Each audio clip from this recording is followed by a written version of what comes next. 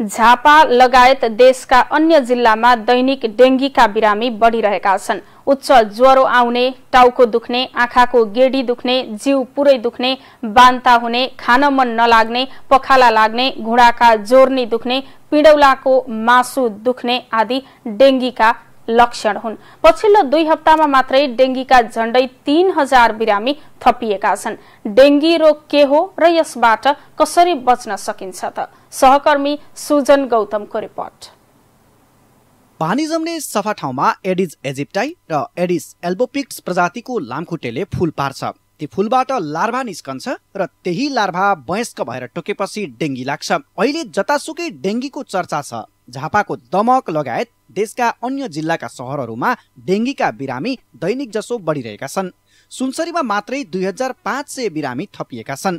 Epidemiology तथा रोग नियन्त्रण महाशाखाका अनुसार सुनसरीमा दुई हजार पाँच सय धादिङमा दुई सय अन्ठाउन्न दार्चुलामा एक सय अठासी कास्कीमा एक सय उनपचास सङ्खुवा सभामा अन्ठाउन्न काठमाडौँमा छयालिसजना कञ्चनपुरमा उन्चालिस भक्तपुरमा पैँतिस म्याग्दीमा पैँतिस र झापामा बत्तीसजना सङ्क्रमित भएका छन्। साउन महिनासँगै भदौ र असोजमा डेङ्गीको सङ्क्रमण अझै बढ्न सक्ने अनुमान छ। झापाको दमकमा रहेको सरकारी अस्पताल दमक अस्पतालमा दैनिक पुग्ने हरेक पाँचजनामा तिनजनामा भने डेङ्गीको लक्षण देखिने गरेको अस्पतालका सूचना अधिकारी देवी दङ्गाल बताउनुहुन्छ।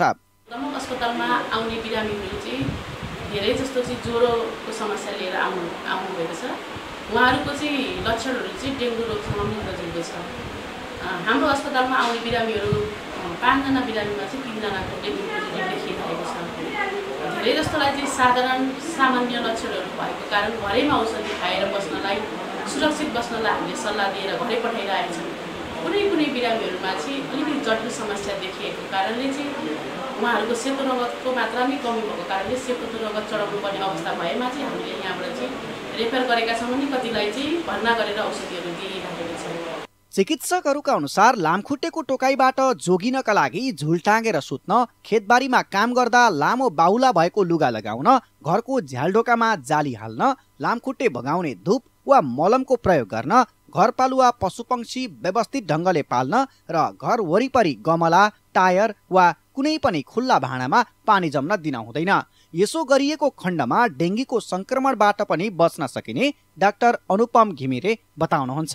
डेङ्गुबाट बच्नको लागि हामीले कम्युनिटी लेभलमा भन्छौँ जुन कम्युनिटी लेभलमा चाहिँ एवेरनेस हुनु पऱ्यो अहिले धेरै जसो डेङ्गु सङ्क्रमण चाहिँ पानी जम्ने ठाउँमा धेरै टायर पुरानो टायरहरू भएको ठाउँमा पानी जम्ने कति ठाउँ जुन पानीको स्रोतहरू हिलोहरू भएको ठाउँमा र कति ठाउँ सरसफाइको कमी भएको पानी जम्ने ठाउँ कहीँ पनि हुनु भएन त्यो सँगसँगै लामखुट्टे एक ठाउँबाट अर्को ठाउँ चाहिँ उसको मुभमेन्ट एकदम बढी हुने ठाउँ भनेको हावाको प्यासेजहरू कम भएको ठाउँहरूतिर हामीले हिँडुल गर्दा पूर्ण पुरा रूपमा कपडाहरू लगाएर हिँड्नुपर्ने।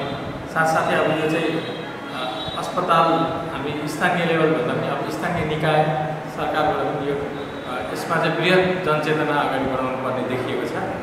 र अब हामीले यसबाट बच्नको लागि चाहिँ अब सम्पूर्ण रूपमा हामीले लामखुट्टेलाई बचाउन लामखुट्टेलाई चाहिँ सङ्क्रमणबाट बच्ने उपायहरू प्रयोग गर्नुपर्ने हुन्छ। अघिल्ला वर्षमा सबैभन्दा बढी प्रताडित सहर धरानमा डेङ्गीले महामारीकै रूप धारण गरिसकेको छ। डेढ महिना यता मात्रै चारजनाको ज्यान गइसकेको छ। दुई हजार भन्दा बढी सङ्क्रमित छन् पाँच सय जना त पछिल्लो साता मात्रै थपिएका हुन्। झापामा पनि स्थिति खराब बन्दै गइरहेको छ तर काठमाडौँलाई नदुखुन्जेल अन्यत्र नहेर्ने हाम्रो सरकारको पुरानै पाराले गर्दा समस्या अझ जटिल बन्दै जाने पो हो कि भन्ने अर्को त्रास पनि पैदा भएको छ। तसर्थ अब पनि न्यूनीकरणका लागि ठोस कदम नचाल्ने हो भने अवस्था के होला यसै भन्न सक्ने अवस्था पनि रहन्न। हिमशिखर टेलिभिजनका लागि सुजन गौतमको रिपोर्ट।